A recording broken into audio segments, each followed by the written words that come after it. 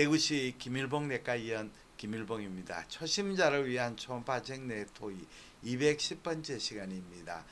55세 남자에서 6개월 전 어, 초음파 검사상 췌장 IPMM 분지형으로 추정했던 정례의 추적 초음파 검사 어, 소견입니다. 이 환자는 어, 6개월 전에 이 초음파상 주체 간의 직경이 2.7mm 경도 확장이 보이고 췌장 구부의 낭성 병변에 의심돼서 체, 췌장 IPM면 분지행으로 추정되었습니다.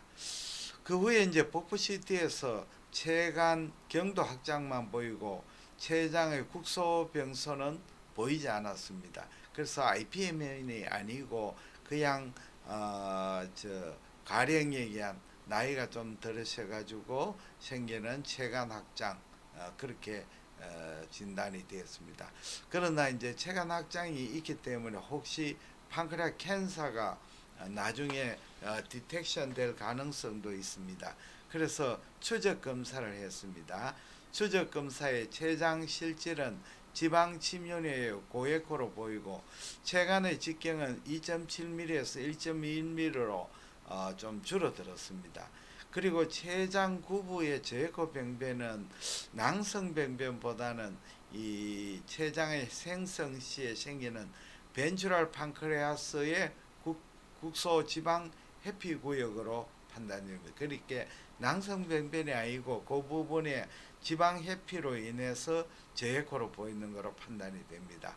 그리고 좌측 신장의 1.3 곱하기 1.4cm 그의 거기에 무에코 낭종으로 보스니아 일형 낭종으로 어, 판단이 됩니다. 그러니까 췌장의 IPMM 분지행보다는 그냥 췌장의 어, 가리, 나이가 들어서 체간의 경도 확장과 그리고 판크레아스의 운신의 프로세스 근처에 에, 지방 해피 구역 이렇게 아, 진단이 바뀌어진 정례가 되겠습니다.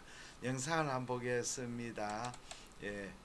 여기에 체간이 어, 2.1mm입니다. 전에는 2.7인데 상당히 많이 줄었습니다.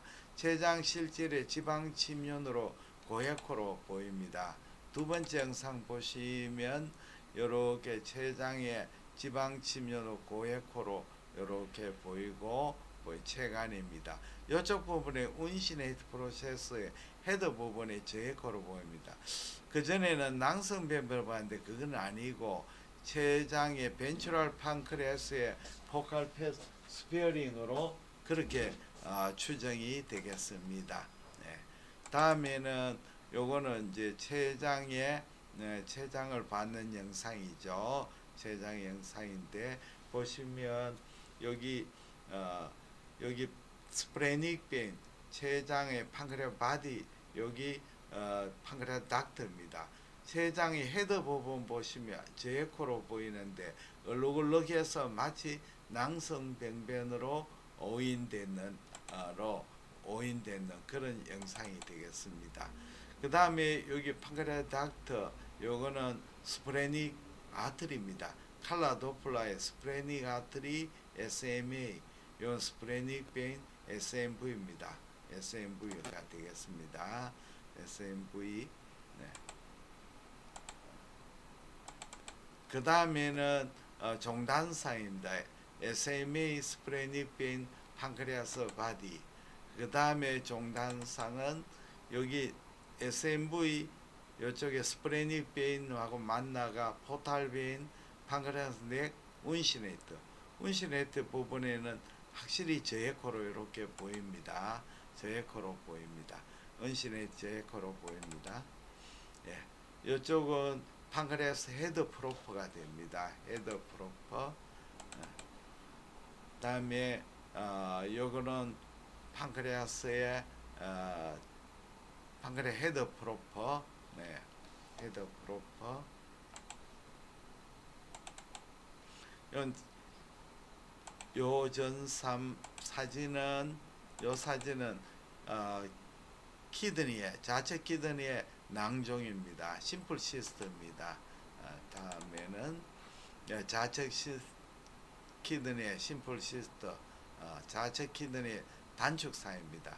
그래서 본 증례는 IPMN 분지형으로 생각했지만 다시 추적 검사해 보니까 그냥 어 그저 가령 가령에 의한 pancreas duct dilatation 그 다음에 ventral pancreas 그러니까 췌장의 head 부분에 어 그 포칼 페스페링으로 어, 그렇게 나타난 영상이 되겠습니다.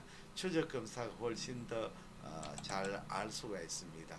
제가 만든 초음파 인증 개인 교습 USB 이 USB는 초음파 기계 사용부터 복부 전 영역 갑상선 경동맥까지 있습니다. 스캔법 USB입니다. 다음에는 어, 장기별 질환 해설 USB 초심자를 위한 김일봉 원장 초음파 교육 USB가 있습니다. 아, 아무쪼록 제가 만든 스캔법 USB 장기별 질환 해설 USB로 선생님의 초음파 공부에 도움이 되시기를 바랍니다. 대단히 감사합니다. 안녕히 계십시오.